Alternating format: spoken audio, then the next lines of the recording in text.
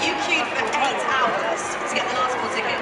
Yes, I queued at checkouts. We were we just got up really early, waited in the queue for eight hours, and these were one of the last tickets available. And I was right at the front of the queue as well. So congratulations, getting those last.